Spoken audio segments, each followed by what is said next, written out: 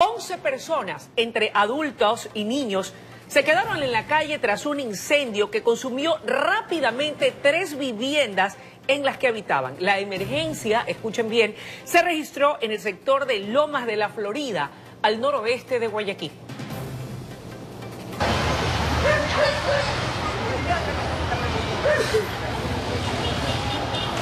Las lenguas de fuego no perdonaron nada.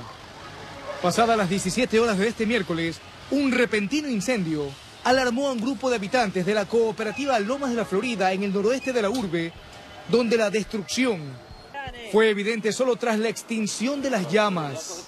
Ustedes han podido verificar el nivel de destrucción de las casas es completa. Eh, esa misión, si es que ellos presentan la denuncia respectiva, lo hará el personal de la, de la Policía Nacional a través del Departamento de Criminalística para establecer realmente qué, qué pudo haber ocurrido. Yo me estaba bañando, amigo, cuando vi por la candelada, que no pude sacar nada, los cables, para mí fue un cortocircuito como, como siempre. Doña María Loor miraba la televisión a la hora de la emergencia. Ella nos dijo que solo alcanzó a salir de casa con lo que tenía puesto. Estoy mal, que no, no tengo ni auto en la calle, no tengo ni, ni qué, porque todo se me ha quemado. Se quedaron en la calle. Sí. ¿Dónde van a dormir esta noche?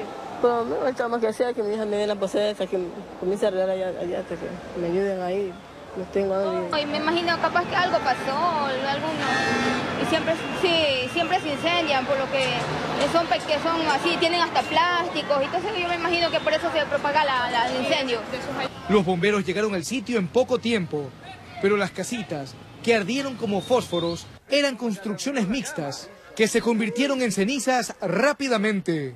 Inicialmente se lo catalogó como una alarma 2, pero debido a la fácil combustión y a la velocidad de propagación que tenían las otras viviendas, se lo subió de alarma precisamente para que inmediatamente salgan más recursos de ayuda y preferible que haya más antes de que nos vaya a faltar y se contamine otra vivienda. Al final, tres humildes viviendas destruidas y 11 personas en la calle fue el balance que dejó el incendio del que aún se desconoce su origen. Aquí me quemé, me quemé por tratar de sacar las, unas cositas, ya no se pudo por la candelada. Fue demasiado fuerte la candela. ¿no? Informó Ítalo Ruiz.